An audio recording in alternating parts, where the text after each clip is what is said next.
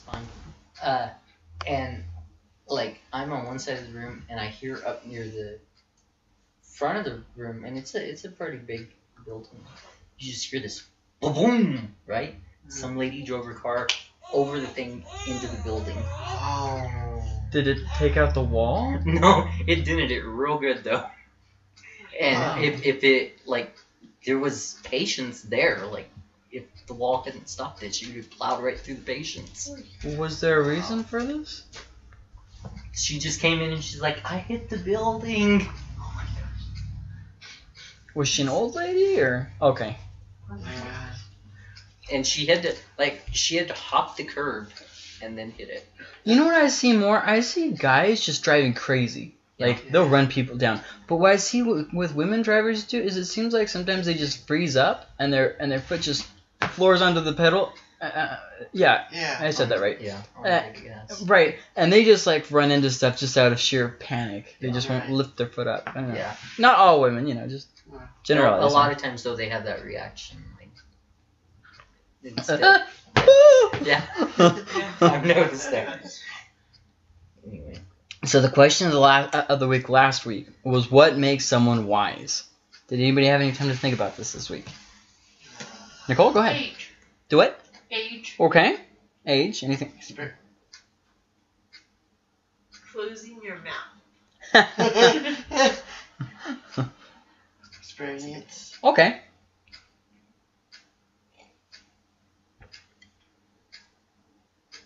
Listening um, to other people's input, even if you think it's bad input.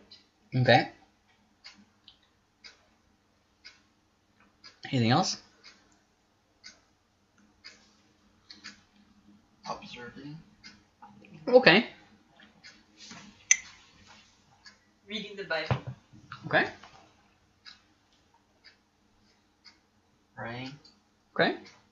being able to be told by someone that you're wrong about something and accepting it.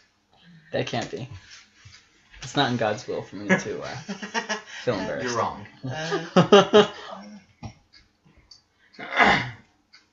okay. Any other ideas?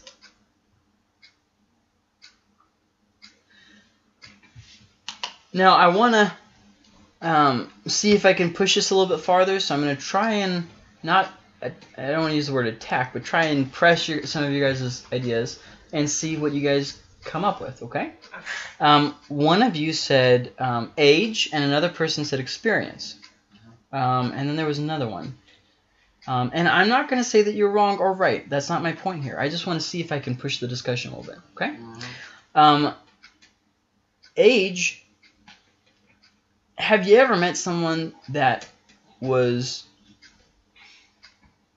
really old, but really stupid? Have you ever have you ever met someone like that? mm. I met a 50 year old who still thought that his mommy needed to be bailing him out of prison. I don't know, that doesn't seem very wise to me. So, what does that mean? What, what about experience? I mean, Paul was never married, yet he had some great things to say about marriage. Mm. What, what do you guys think? I mean, what do you guys think?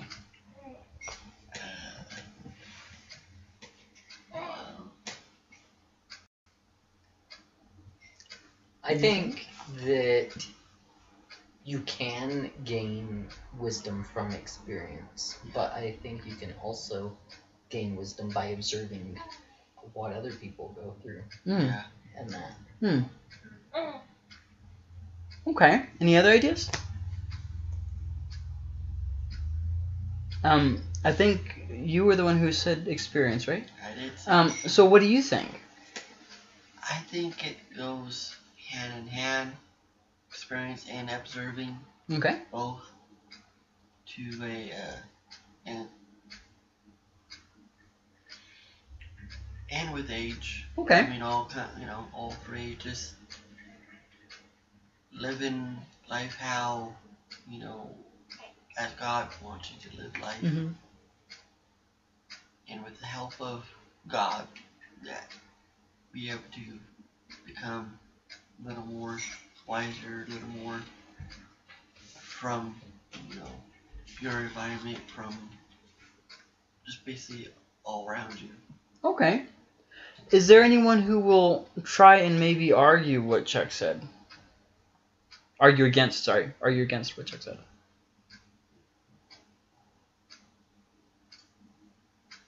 Because you said, um, can you summate what, what you had said earlier? I got a little bit distracted with what he had said. And I, um, Oh, about the um, not just through experience, but by observing others, right. you can gain wisdom from what they have done. You guys want to try and fight that? I, what do you think?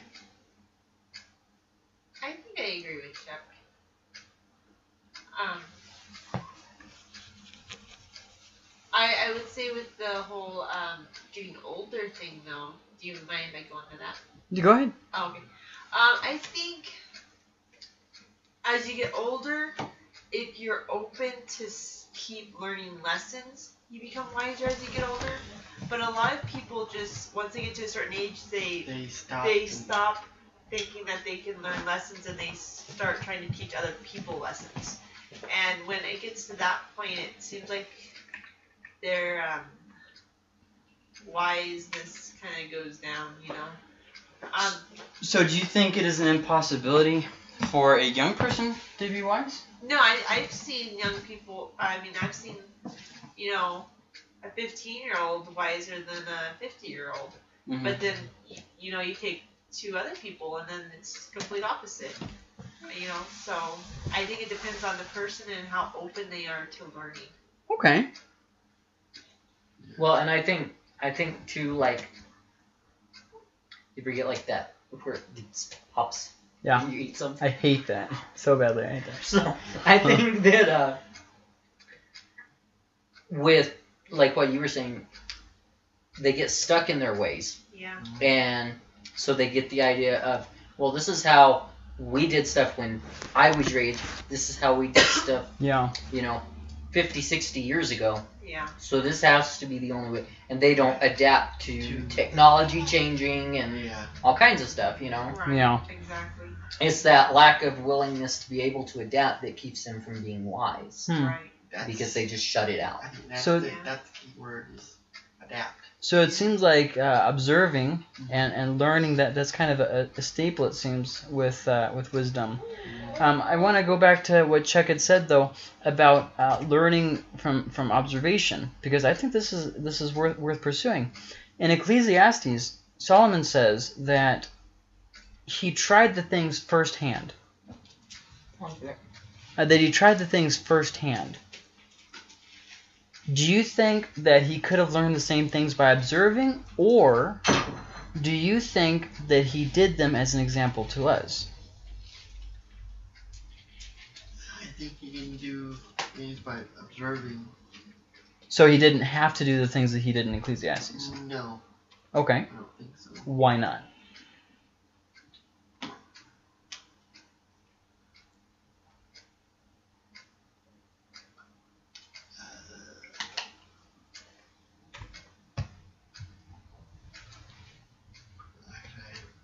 Just think about it. You don't have to have an answer right now. Just, I'm just trying to get you guys to think, okay? There's no right or wrong answer to this. I think most most situations you can learn by um, other people, Okay. but some situations, depending on the person, they they need to go through this situation to learn from it and grow from it. You need to understand. Yeah, so that way they can also um, help other people with the situations. You know. Okay. Were you about to say something? Well, uh, what I was gonna say is, a lot of times, um, the things that we go through that our parents have went through at least something similar to it, Yeah. and they try to tell us, you know, well, I already went through that. we don't think they know what they're talking about. you Right, know? right. Yeah. Probably don't. just kidding. Just kidding. Solomon, a lot of his problems had to do with women. oh What did his father have problems with? You know, my. He didn't learn from observing his father. No, he didn't learn too much there, did he? It seemed like it uh, happened. It just kind of spiraled. yeah, yeah. yeah. And so there's an interesting point. It seems like, if I'm hearing you guys right, in every wise person, there is an area of stupidity in them. Am I Uh, hearing that from, from most of what you guys are saying? I would say yes. yes. That there is no such thing as the perfectly wise person? No. Okay, alright. They all I- got that thing. I wanted to make sure that, that that's what I was hearing from you guys. So then, um, oh yeah. So then, uh, if you think back on your life, who do you, have you ever known someone that you said, "Oh, that was a wise person"? And if so, what made them stand out so much to you as a wise person? Cannot be someone from the Bible. It has to be real life right now. Okay. Not that the Bible isn't real, but I mean current times. I'm talking about current times. Because none of you, none of y'all knew King Solomon.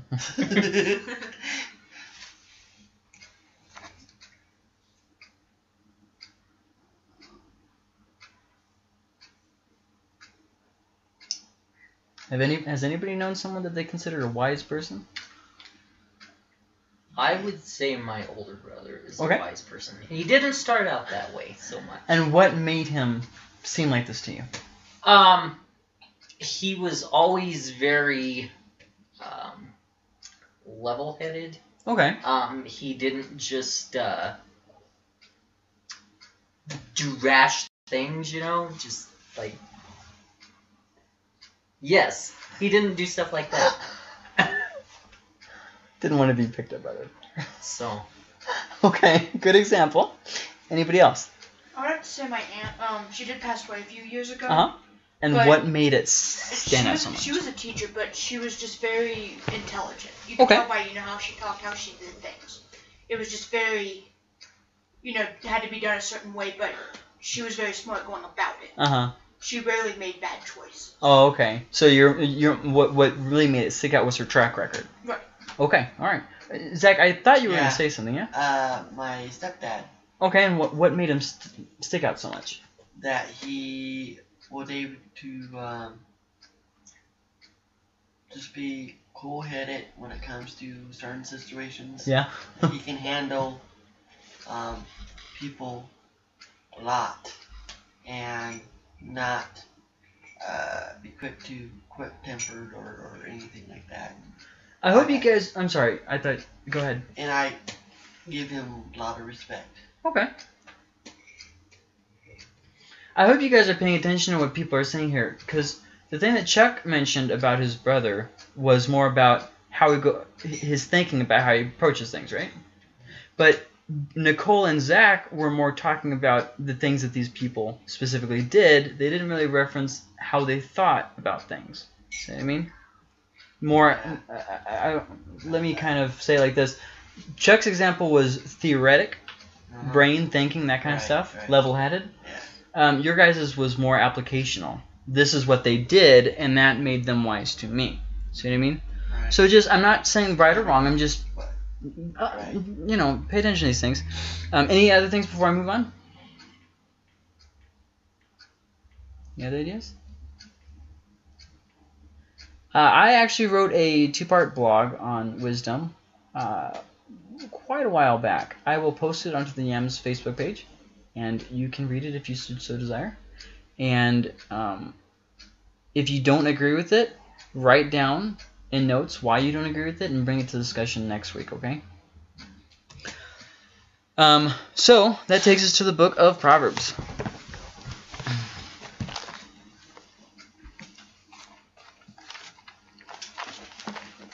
Where am I going?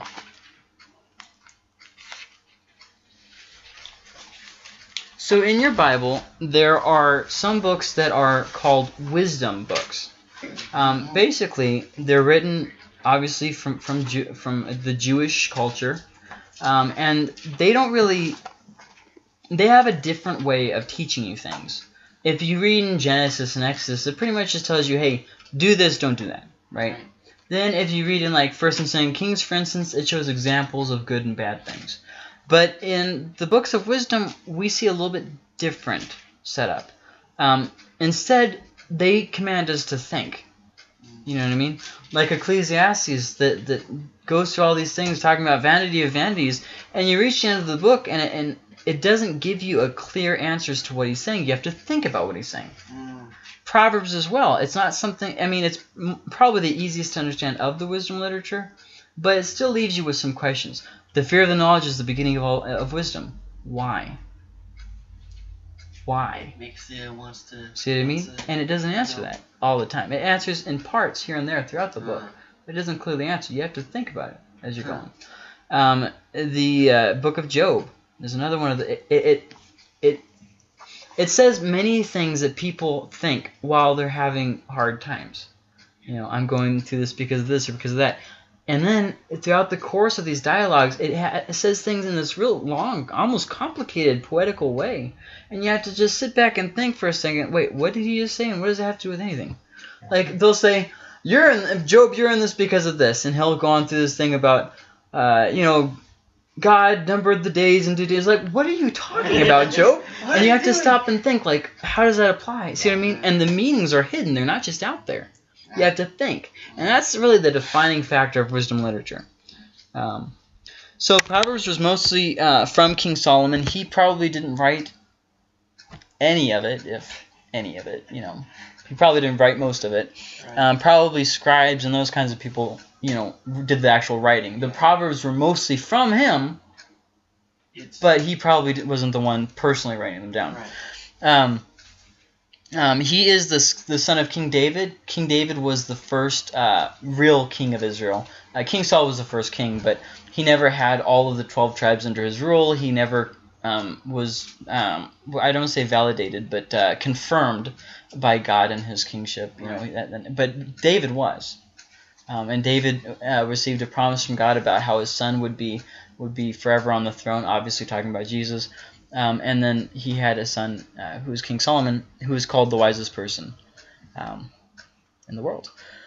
So it was put together by scribes sometime in its final form around 700 BC. This is about, when the king has when King Hezekiah was alive. Now, what brings up King Hezekiah? about halfway through the book, somewhere around in the 20s something, um, it talks about how King Hezekiah got his scribes together and, and they compiled the second half of the book of Proverbs. So, in other words, there were proverbs that were not put together that, that, that Hezekiah's people put into one book. Um, and Hezekiah was was um, a king in the southern kingdom after the kingdom had split into two. If you want to read more about King Hezekiah, um, read the books of Kings, um, and Hezekiah is also in the books of Chronicles. So, um, and then at the same time, Hezekiah probably uh, Hezekiah's scribes also added the other wise sayings, which is chapter 30 and 31, uh, Agur, Lemuel, and the wise wife. Um, and uh, but uh, as far as the content itself, Proverbs uh, Proverbs was, was mostly by by Solomon. Um, and if Solomon did write it himself, instead of having a scribe write it down for him, um, he wrote about chapters 1 through 20, I think it's like 4 or something like that. Um, and then Hezekiah did uh, put the rest of it together as a as the as the finale of what we know of as Proverbs. Um, it the the main theme of, of Proverbs is a wise ways to live. It really addresses this is how you should live, you know. Um, whereas um, Song of Solomon and, and those other ones they give us exceptions to the way that you should live. And Proverbs he says, hey, this is what you should look for in a man. Hey, women, this is what you should look for in a, in a, in a man. Did I say that right? Men, this is what you should look for in a woman. Women, this is what you should look for in a man.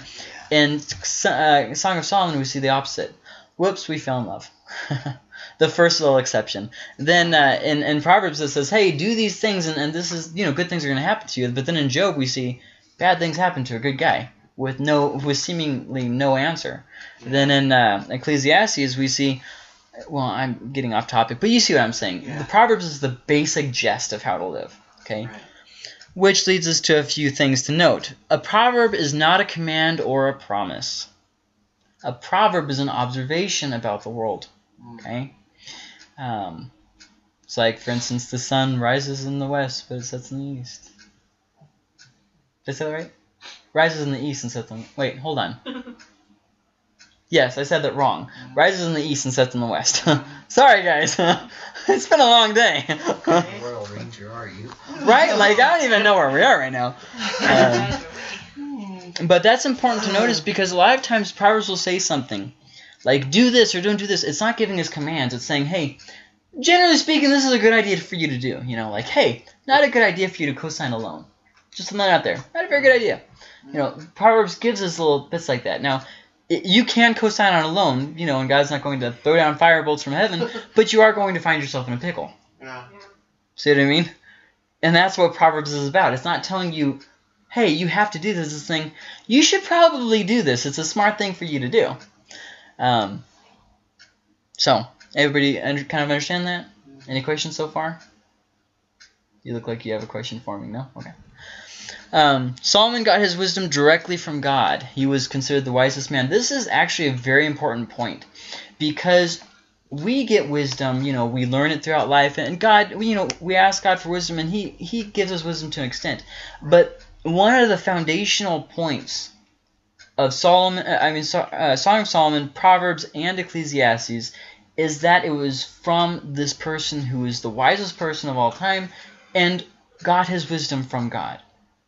That is that that's important for a few reasons. First off, when we read Ecclesiastes, and he, he says he did these things. That's important for us to know because basically what the Bible is saying is the wisest person in the world tried this and it didn't work. It's not going to work for you. Mm-hmm. So I mean, he was an example for us. Um, so that's actually one of the main important points of the Bible when it talks about Solomon's wisdom is that it was directly from God, not from people. Very important point. Proverbs.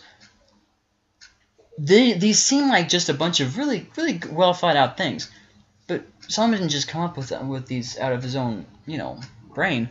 God was directing him in his observations. See what I mean? So when we read in Proverbs and he says, "Hey, not a good idea to co-sign on a loan," God is inspiring him in that and saying, "Oh, hey, God has showed me that this is not a good thing for me to do." See what I mean? And uh, one of the main things. So if the wisest person ever lived says, "Hey, it's not a good idea to co-sign a loan," do you think you are wiser than this person who received their wisdom directly from God? Right. See what I mean? Solomon was an example for us, and that's why the Bible emphasizes so strongly that he received his wisdom from God, Right. so that you would not think that you are wiser than him and think, "Oh, I'm the exception to the rule." Yeah. you see what I'm saying? Right. So, um, I already said this. Solomon as an example to us. If it didn't work for him, it won't won't work for us. I already mentioned that. Um, and then uh, last thing I want to say about introdu- introducing Proverbs, there are probably Proverbs from Solomon that are not in the book of Proverbs. Okay, I think it's Second Kings mentions about a lot of these other proverbs that, that Solomon had, and it seems like he had a lot of other proverbs that had to do with animals and that kind of stuff. And in Proverbs, we only see a few that had to do with animals. So I don't know. It seems like there are more out there. Um, will we ever find those? Probably not. at this point, they are 3,000 years old, and if they haven't been discovered, they've probably been destroyed at this point. so, um, as far as the outline for the book, um, in chapter 1, verses 1 through 7, we have the purpose of wisdom, which is important because the whole rest of the book is going to talk about that. And then there are 13 messages from Solomon to youth that start out something like this Here, here are my words, my son. There's 13 of these messages between chapter 1, verse 8, all the way through chapter 9 through 18. We're going to look at each of those 13 messages in particular, and I think we're going to look at 1 through 3 tonight. Um, then there's just general proverbs, and you can break these up into different different parts, but just general proverbs, chapter 10 through chapter 22, verse 16. And then there are uh, what's called words of uh, words of the wise. This, these are basically more proverbs, just slight, written slightly different. Um, they break themselves into different parts. When you reach chapter 22, verse 17, it says, "These are the words of the wise." You know, I mean, it, it breaks itself into these categories. Um, and then um, Hezekiah's collection is chapter 25 through 29. And then there's the others, just uh, anonymous and other people. Um, they're at the end of the book. Agur and Lemuel um, right, uh, have sections in chapter 30, and then chapter 31 is dedicated to the wife of character. We don't know who wrote that. Uh, maybe Solomon, maybe one of them, maybe somebody else in total. We really don't know. Um, and uh, yeah. Uh, so not all verses are connected because of the nature of Proverbs. Sometimes when you're reading, you know, obviously most of the time when you're reading through the Bible, read the verses before and after it. Proverbs sometimes, but not always, because it's a collection of, of sayings. And a lot of them are, are very distinct from each other. Yeah, yeah. And uh, really, our tendency as Proverbs is to kind of just book through them. I would I would discourage you to read it like that. I would encourage you to read it like one to three verses at a time, just kind of focusing on the idea and thinking about it. Yeah. Because once again, that's that's the idea of Proverbs. Think about this. You know. So as you read it through, you might want to read it through slower. Uh, I know some people uh, read it through um, uh, in a month. You know, because there's 31 chapters. You know. Chapter day. Right, and this this works. You know, um, uh, w- when you do that, I've noticed that that certain verses will hop out to you every time through. Right. You know, different verses, or a, a verse that you've already read will will hop out in a different way. Um, you know, and, and so you can do that. Um, I personally prefer to do verse by verse, so you can really just sink your teeth into what's being said. Um, everybody good on that? Mhm. Okay, let's go through Proverbs chapter 1. We'll start with uh, the first section, which is verses 1 through 7. The Proverbs of Solomon, son of David, king of Israel. Um, and then in verse 2, he starts with the purpose. Okay? To know wisdom and instruction, to understand words of insight. So these are the these are things that happen with your thinking, right? To receive instruction in wise dealing, in righteousness, justice, and equity. Okay, so right there, what he just did is he connected the way we think with the way we act. Right. Um, to receive instruction in wise dealing in righteousness, justice, and equity. Um, to give prudence to the simple, knowledge and discretion to the youth, let the wise hear and increase in learning, and the one who understands obtain guidance. To understand a proverb and a saying, the words of the wise and their riddles. The fear of the Lord is the beginning of knowledge, fools despise wisdom and instruction. So let's break that apart. The first thing we see is to learn. It says in verse 2, to know wisdom and instruction, to understand words of insight. Uh, that you would you'd be able to to, to, to learn. You know, um, I, I, somebody said we were talking about, and somebody said, um, you know, w- one of the marks of wisdom is in a continual growth pattern. That that learning. I think uh, is it you? And then you mentioned it too about you know observing and constantly being able to adapt and, and, and learn and that kind of stuff.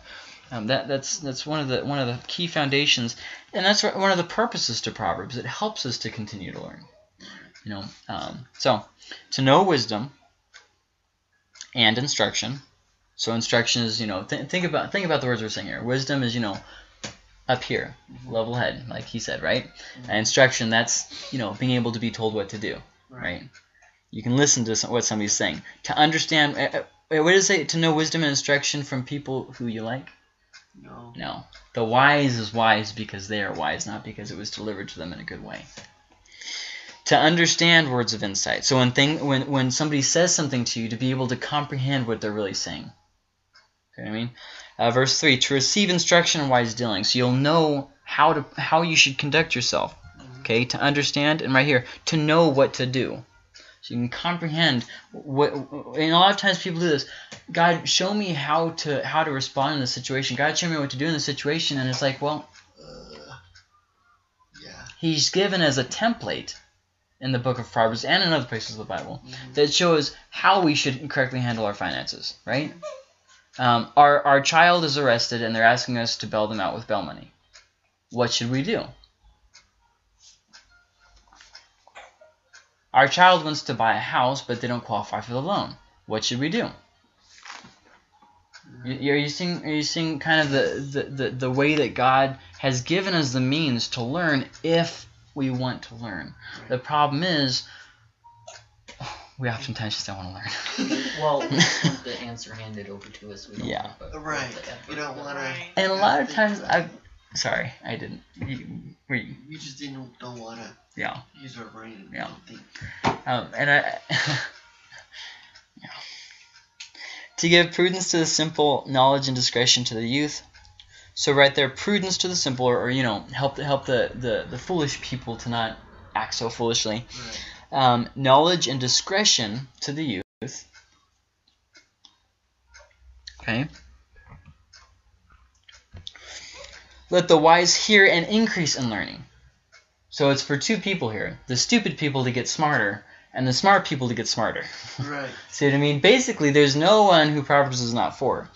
Um, to understand a proverb and a saying, the words of the wise and their riddles. To really get to understand these things. Um, and so the, the, the cure for foolishness, Proverbs. Uh-huh. to grow in a relationship with God. Our wisdom correlates with our relationship with God. Because he was just giving reasons, right, for Proverbs. And then what does he say in verse 7? The fear of the Lord is the beginning of knowledge. Fools despise wisdom and instruction. So whereas a fool, they can't be told what to do. A wise person, instead, the, the, the, fear of the Lord is the beginning of, of, of that knowledge. Right. So clearly, wisdom is connected with our walk with the Lord. Uh-huh. What does it matter how I live my life? A Uh, spiritually immature Christian. Yeah. What is my fa- finances are my own? What does it matter if I co-sign a loan, if I do this, if I do that, and the other thing? A, a spiritually immature Christian. Right. See what I mean? So, uh, not that we should judge others, but that we can correctly judge ourselves. Okay, I'm not teaching you guys to go judge other people. Um, one of the things that you see throughout the book of Proverbs, and this is actually talked about in Ecclesiastes as well, is why the fear of the Lord is the beginning of knowledge. Any ideas? Because if you fear God, you'll listen to His commandments. Exactly. If somebody fears God, they have a reason for doing right and wrong. If I don't fear God, why should I live any different than the next person? What does it matter? yeah. But if I fear the Lord, I have reason for wisdom. Mm-hmm. And if I have a reason for wisdom, I will find wisdom.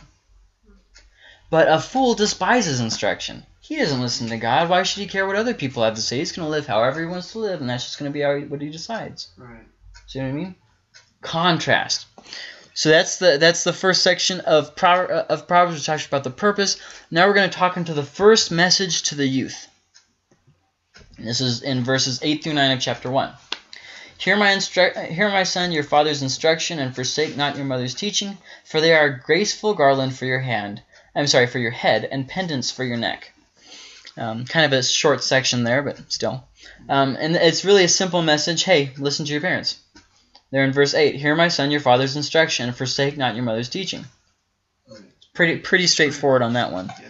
Um, and so what what is the what is the benefit of the, of the of this message to listen to your parents? Well, there's quite a few things. They are a graceful garland for your head and pendants for your neck. Now, what does that mean? Well, it means that they will help you. They will mature you. You will they will bring you honor. Right.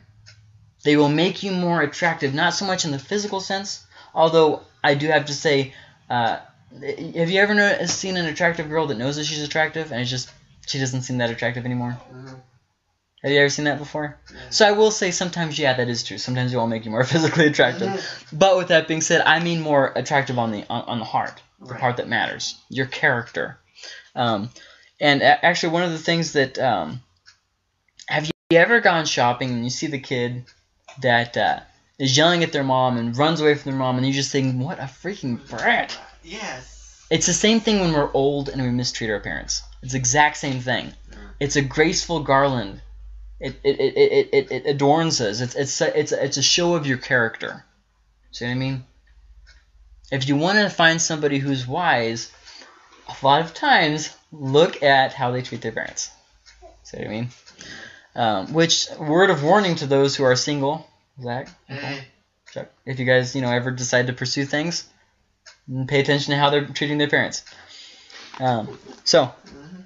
and it will help you. the- He talks about this later about the way that the, the, the, the words of your parents won't, won't depart from you. They'll, they'll they'll keep you in the right way that you should go. Talks about that a lot. He talks a lot about the way that it'll help you uh, help you mature and that kind of stuff.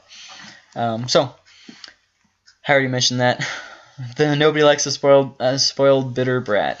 the ability, ability to listen is prized, and that's that's throughout all cultures. Um, if you look, look in Exodus 20:12, uh, it, ta- it talks about this. Excuse me. Honor your father and your mother, and your day um, that your days may be long in the land that the Lord your God is giving you. Why would your days be land? Why would your days be long? I don't know why my days would be land. Why, why would your days be long? Because when you listen to other people's advice, you don't make the stupid stupid mistakes that you could have made, and Right. thereby your chances of living longer better. are better. hey, don't touch the oh uh, it's stove. I guess I'm gonna go turn on the oven and climb inside. See, I mean- yeah. If you listen to people, respect and honor your parents. But there's also another side to Exodus 20, 12, 20 verse 12, is that God blesses us as we respect and honor our parents.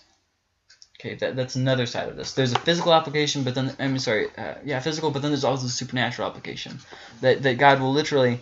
Now, just so that we're clear, we're not Israelites, so this promise doesn't apply to us anyways. It's still something that God wants, obviously, but just because we honor our parents doesn't mean that we aren't going to die young. Okay, this is just general thing. Okay, so. And then the next thing in uh, 1 Timothy 2, 9 through 10, I'm not going to turn there. But it's the part where he talks about um, women adorning themselves, not with the outward things, but with their inward character. And this is one of the things I want to highlight. These kinds of things are important for our character. You know, and the character is really what matters and what God is going to be paying attention to. So, uh, listening to your parents. That takes us to the second message, uh, chapter 1, verse 10. Uh, and it goes down uh, through uh, verse boop, 19. Okay. Hear, my son, your father's uh, instruction, and forsake not your mother's teaching. I'm going to turn this light on. There we go. My, uh, where am I? Verse 10. My son, if sinners entice you, do not consent. If they say, Come with us, let us lie in wait for blood. Let us ambush the innocent without reason, like Sheol. Let us swallow them alive, and whole, like those who go, down to the pit. If we uh, we shall find all precious goods, we shall fill our houses with plunder. Throw in your lot among us, we will all have one purse. My son, do not walk in the way with them. Hold back your foot from their paths, for their feet run to evil, and they make haste to shed blood. For in vain is a net spread in the sight of any bird. But these men lie in wait for their own blood, they set an ambush for their own lives. Such are the ways of everyone who is greedy for unjust gain. It, is, uh, it takes away the life of its uh, possessors. So, a few things. Let's start with uh, the, the first part there, uh, verses uh, 10 through 14 specifically. Um, people don't really talk like this. Okay? You have to listen to the implications of what somebody is saying. Li- listen to this. My son, if sinners entice you, do not consent. If they say, Come with us, let us lie and wait for blood. Well, they're not actually going to say that. They're, they're going to say, Hey, look, uh, we know this house, you know, that's they leave the back door unlocked. You know, I, we'll be able to, uh, you know, nobody's going to be home, nobody's going to get hurt. We'll be able to see what I mean. They're going to talk somewhere like that. They're not going to say, "Hey, let's spill some blood." You know what I mean? very, very. Those are called psychopaths, and very rarely are you going to actually. and then let's drink it off the floor. yeah. Uh, like Sheol, let us swallow them alive and whole. What he's uh, he's he's um defining the things that they will be doing, not what they will actually be saying. Right. What he's saying here, it's kind of funny because in this you have to have wisdom to kind of understand what he's saying here, but he's saying this so you'll have wisdom. So it's like, well, that's quite a conundrum. what he's saying is that you have to be wise and listen to what people are actually saying. Listen to the implications of what they're say, wait, what they say. For instance, uh, in, in politics, how many times do you hear people say "free this, free that"? Oh yeah. Oh, yeah. Now, do we? Is, is there actually anything that's free in life? So how can they offer free college, free fill in the blank? Yeah. See what I mean? else has to pay for it. Someone has to pay for it somewhere. Right. Listen to the implications of what people are saying because politicians do this all the time. Oh, yeah. They make a thousand promises. I mean, Trump was gonna uh, was gonna get. Uh, what, what was the big thing?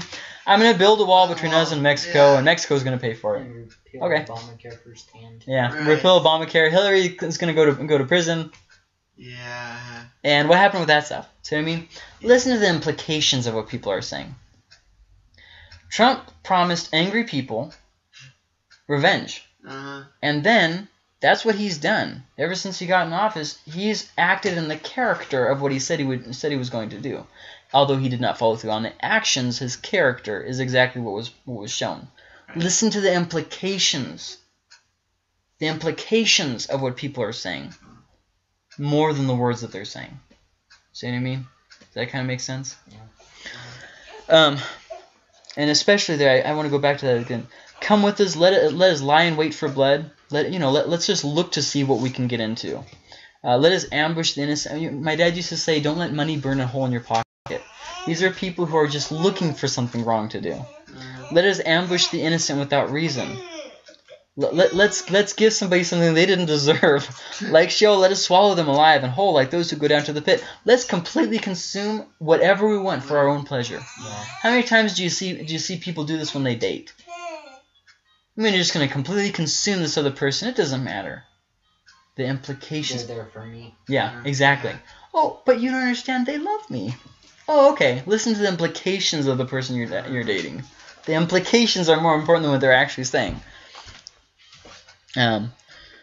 Uh, also, uh, I wanted to mention this. Uh, pay attention to what you're doing. You can actually support an organization that supports abortion, for instance. You can Mhm. you can be against something and then support an organization that Without. that condones it. Um, Gracie, as an example, was this last week was looking, you know, for different phone providers and whatnot, see if we could save any more pennies, and uh, she found out that this one was oh, that they give however much of their proceeds to help women get abortions. Then she found out that Wells Fargo does it too. Then she found out that Walmart does it too, and Albertsons does it too. Lowe's doesn't, but Albertsons, and Walmart do. So in one side of our mouth, we're saying, I don't stand for that. But then on the other side of the mouth, we're paying for it. Yeah. And then she found out there are some organizations that pay on both sides. They pay the pro life and the pro choice, uh, uh, they pay to both organizations. Uh, And then there are some who pay to a third or a third party, so it keeps their hands clean, but the third party then goes and supports that. So it's like, well, now I'm not saying boycott things. Right, I, I, you're gonna have to make your own decisions on what you should and shouldn't do. That's you- between you and God. What I am saying, pay attention to what you're doing and the implications of what you're doing. Oh, I, I just bank with Wells Fargo. Yes, but you have a credit card which you pay interest on. The interest goes to Wells Fargo, which they then give to help women get abortions. What are the implications of what you're doing? In the same way, what are the implications of what people are telling you to do? See what I mean? And that's really the call of Proverbs to pay attention. Just pay attention, you know? Um, so, and then in verses 15 through 16, My son, do not walk in the way with them. Hold back your foot from their paths, for their feet run to evil, and they make haste to shed blood. They're, they're hurrying up to do the wrong thing. Mm-hmm. The idea here is treasure morality, treasure right. Why? Because it's the right thing to do. Listen to what he says here. Do not walk in the way with them. Hold back your foot from their paths. Why? For their feet run to evil, and they make haste to shed blood. The first reason why you shouldn't go along with them is just because it's not right to go along with them. right. So I mean, do things not because you're being forced to, but because it's the right thing to do. But then he doesn't stop there. Um, another reason he gives is because they will trap themselves. For in verses 17 through 18, for in vain is a net spread in the sight of any bird, but these men lie in wait for their own blood. They set an ambush for their own lives. Basically, what he's saying is this: if a bird sees you put up a trap, it's not going to go into the trap. You're not going to catch the bird. Right. But what these people are doing is that they are setting a trap for themselves, and they're going to catch themselves in their own trap hmm um, kind of a an interesting an interesting idea there, and that and, and what he's saying. I, I'm going to go into it a little bit. I have a whole note section here, but first thing that he's saying is that there are consequences to the things that we do. They think that they're so smart. They think that they're going to get something, but they're going to end up with nothing. They will, there will be consequences to their actions. Um, I'll come right back to this. Let's move ahead to the last verse here, verse 19. Um, and that's, oh, sorry, that's my alarm telling me that it's about time. Um, Uh, in verse 19, he, he, he tells us that there really is no such thing as easy money. Such are the ways of everyone who is greedy for unjust gain. It takes away the life of its possessors. Mm-hmm. Remember we talked about greed a couple weeks ago? Mm-hmm. And this is kind of what exactly what we came down to. Greed consumes and demands more. The more we justify greed, the more it demands. Mm-hmm. We think, oh, if I just get the perfect job, then I'll be happy. Then we get the perfect job, and we want a raise. We want more money. We want this. See what I mean? Because greed isn't satisfied. And that's kind of exactly what he just said in verse 19. Such are the ways. That's just the way it goes with everyone who is greedy for unjust gain. That's how. That's how the inevitable end is going to be. It takes away the life of its possessors. It sucks you dry. The more you give it, the more it demands. Exactly what we said a couple weeks ago in the in the section on greed. So there's no such thing as easy money, um, as as he shows us here. Greed consumes and demands more. So there's a few things I want to reference in verses 17 through 18. Choosing to live life immorally sets a trap for yourself. Excuse me. Excuse me. Just a second. Choosing to do what's wrong sets a trap for yourself. And it does it in a number of ways. First off, you never really get what you want. Pastor said it like this a few Sundays ago. There's two people who are who are not happy with money. People who get it and people who don't. So you, you people think that, that money is gonna gonna provide them some kind of a happiness and it just doesn't. And then later on in Proverbs, so not only here does he warn against these people who, oh, we're going to make a real quick, easy buck. Later on, he warns again. Hey, actually, I think it's Lemuel who says it, but um, instead of being rich or poor, you know, have enough. And we'll get to that when we get to chapter 30, so don't worry about that right now. Um, but then also there's the idea that doing the right thing is its own reward. As you do what's right, there's just a certain happiness that goes along with it. So then uh, he, he kind of seems to be implying be the bird. Because he's talking about these other people. For in vain is a, is, a, uh, is a net spread in the sight of any bird, but these men lie in wait for their own blood. It seems like he's saying, hey, abstain from these people, be a bird. See that there's putting, putting a trap? Keep flying by. you know? Um, and then also, um, in desiring wealth, they lose the greatest wealth. See, by seeking a quick, easy buck, they're choosing the ways of death. And God promises that in choosing immorality, we inherit death and curse. You mentioned that in Deuteronomy and throughout the Word. Mm-hmm. Doing the wrong thing brings on punishment. In fact, Romans says it like this: they're awaiting the wrath of God. they're building up. They're building up wrath points, mm-hmm. um, and they will eventually be caught. Okay, so not only do they, do they lose the eternal wealth, but they will also uh, be caught. See how it says this? They set an ambush for their own lives. They're going to get caught. Mm-hmm. Um, uh, and when the, when people are caught, did you know that they lose everything? Mm-hmm.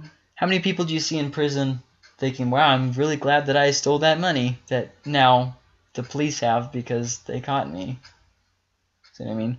And uh, television shows make it make it out to be like people get away all the time and you know all these great things and they're all oh like uh, you see it a lot people with morality that are murderers like uh, john wick did anybody see john wick how he murders people for a living but he's just got this good character to him. Hmm. Immorality breeds immorality. That's just we can't put boundaries up on it. It, it was an intense movie though. And then also another thing if you notice in verse 14 it says throw in your lot among us. We will all have one purse. Except Nope. Greedy people will always turn on each other. Oh, yeah. One purse that leads to people fighting over money, and it just doesn't work. Bad things are at, are at stake. Even if you're just doing it, even if you're the one who's doing the evil thing, it still isn't going to work for you, even if you don't have any, any partners. Um, um, and then uh, another thing uh, that I noticed with this, uh, these men lie in wait for their own blood. They set an ambush for their own lives. Have you guys ever talked to a druggie? One of the things you see them do is that everyone is a mark. Everyone is a fool. Everyone is stupid. Everyone's got an angle. Nobody's ever just saying something. Nobody's really just they're full. If if you give them someone out of the generosity of your heart, it's because they played you. It's not because you were nice to them. Because nobody's ever nice to anybody. See what I mean? They have this mindset to them, and then they also have this mindset: I'm right. No matter what, I'm right. Um, everyone else is wrong, but I'm right. And what does that do? That sets an ambush for ourselves because we don't even see the error of our ways because the more sin we take on, the more our changing thing uh, thinking changes, and the more our thinking changes, the more we can become blinded to what God uh, to to, to the destruction that we are leading ourselves into. Just like a druggie will say, "Oh no, you know, these people are just marks," and then they end up in jail. See, they were blinded to their own coming destruction. So, uh, the third message, and this is the final part that we're going to look at tonight, is in verses 20 through 33. Wisdom cries aloud in the street. In the markets she raises her voice. At the head of the noisy street she cries out. At the entrance of the city gates she speaks. How long, O simple ones, will you love being simple? How long will you scoffers delight in their scoffing, and fools hate knowledge? If you turn at my reproof, behold, I will pour out my spirit to you. I will make my words known to you, because I have called and you refuse. I'm sorry. I will make my, my words known to you. Verse 24. Because I have called and you refuse to listen, listen I um, have stretched out my hand and no one has heeded. Because you have ignored all my counsel and would have none of my reproof, I also will laugh at your calamity. I will mock when terror strikes you. When terror strikes you like a storm and your calamity comes like a whirlwind. When distress and anguish uh, come upon you, they will uh, then they will uh, call upon me. This is a nice way of saying hindsight is 50 or 2020 Right. You see things great after the fact, then I will laugh at you. Uh, After the fact, oh, wow, suddenly I see wisdom awful clearly. then they will call upon me, but I will not answer. They will seek me diligently, but will not find me, because they hated knowledge and did not choose the fear of the Lord. Would have none of my counsel and despised all of my reproof. Therefore they shall eat the fruit of their way, and their and have their fill of their own uh, devices. For the simple are killed by their turning away, and the complacency of fools destroys them. But whoever listens to me will dwell secure and will be at ease without dread of disaster. First thing we need to note, it's been equated that Jesus appears in the book of Proverbs as wisdom. This is not true.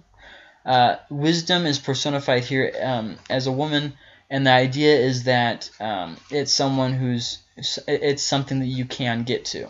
Okay, um, it's not really something that's pointing towards Christ. Um, Christ is later equated as wisdom, but this isn't something that was originally meant in Proverbs. Okay, does not is not implying about Jesus here. It's just it's just personifying the idea of wisdom so we can understand it better.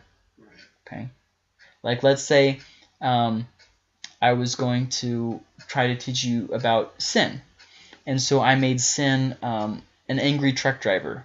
You know, and this diesel truck driver, he's running over rabbits and, and chickens and ducks. So I mean, it, sin isn't actually a truck driver, it, but I've, I'm telling you a story that helps you personify it so you can understand it better. Okay, so um, and the the the, the third wis- uh, message here is don't reject wisdom even though it will cause sorrow. As you grow in wisdom, you will be faced with a lot of sorrow in your life. And eventually you'll come to this conclusion, why does it even matter if I'm wise or not? People aren't going to listen to me no matter what I do. Um, and, and the idea is that this. It may seem like that, but it, but it does matter. And the whole book of Proverbs, Proverbs shows us why it matters. And he walks us through why it matters. Um, and right here, he specifically says, "Hey, wisdom's going to have going to have a reward, and so is so is foolishness." So, um, there are distractions, but wisdom can can be easily. I'm sorry, my. Okay, here we are. We got here. Um, in verse 20, uh, we'll just start at 20. Wisdom cries aloud in the street, in the market she raises her voice. The idea here is that she she can be found if you should look for her. And then verse 21. At the head of the noisy street she cries out. At the entrance of the city gate she speaks. There are distractions. There are always distractions in life, but wisdom can be found if you simply look for it. Right? Have you ever been in a city that's really, really busy? We don't have them nowadays like they did back then, but there are people talking, people negotiating prices. There were shot. Uh, there were all the all the people. Just right outside. Right. There, there- all kinds of stuff going on, and there's all this noise. It's very loud, and over there, wisdom is crying out. It's there if you just look for it, but there are distractions around. Okay, wisdom can be found if you seek, but there are also other things in your life that will get your attention too. So you have to make a decision that you actually want wisdom, because there's going to be a lot of, a lot of things competing for your attention. Um, and then, in, verse 22, how long, O simple one, will you love being simple? How long will you scoffers delight in their scoffing and fools hate knowledge? So then brings up the question, do you really want to change? Because oftentimes we kind of tell ourselves that we want to change, but do you really want to, though? That means that you have to stop doing what you're doing. Look what she just said. How long, O simple ones, will you love being simple? What she's saying here is you're going to have to change the way that you're doing things. You're going to have to change the way that you're thinking about things. If you are any, if you're not a stranger to social media, you know that people don't want to change their opinions, Uh, and then they want to uh, proclaim it loudly before all the internet. Okay, so also we see that wisdom comes in stages gradually as we seek after it. Look in verse 23. If you turn at my reproof, behold, I will pour my spirit to you. I will make my words known to you. If you respond to me, I will give you more. The idea is this: that as we seek, as we ask the Lord for wisdom, as, as we as we try to grow in wisdom, we'll have opportunities to change, to grow, to learn. And if we accept those opportunities and we grow and change and learn, we'll get more of those opportunities and we'll grow in wisdom. Or we can harden our hearts and do the same stupid thing that we do regularly and we don't learn a thing. Right. Then hop down to verse 28 and it says the same thing in a different way. Then they will call upon me, but I will not answer. They will seek me diligently, but will not find me. Why will they will not why will they not find wisdom after the fact? Because wisdom isn't just acquired in an instant. It's acquired over the span of time. They neglected wisdom their whole lives, and now that they're in trouble, they're going to try and, oh, now I want to shape up and I want to do the right thing. They're not going to be wise because they haven't given wisdom the proper time. Right. It's like someone who doesn't practice the guitar and then wants to go out and jam in a band. Yeah. It just it's a Right, it's not going to happen. Were you going to say something? Were Well, say you, something? you see this in the example of people who, um, they they don't take care of their health all through their life. Right. They smoke, they're you Right. know, overweight or whatever, diabetes and all kinds of stuff, and then they get uh, this news when they're already like seventy five or whatever, you know, Well, and they're like, oh well, now they want to change, but right. now it's too late. Yeah. Ex- that's a Yeah, really that's good perfect. example. That that actually hit the nail on the head. yeah. Absolutely perfect. Wow. Uh, They will call upon me, but I will not answer. They will seek me diligently, but will not find me. Wow. Wisdom is its own reward. Look in 20 verses 29 through 33. Because they hated knowledge and did not choose the fear of the Lord, would have none of my counsel and despised all my reproof.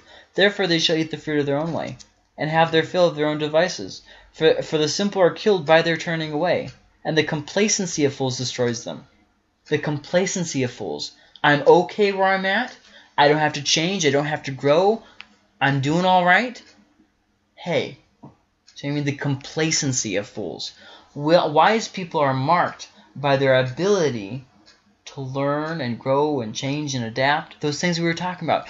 Fools are marked by their complacency. Complacency. I don't want to learn. I don't want to change. This is where I'm at. But whoever listens to me will dwell secure and will be at ease without dread, dread of disaster.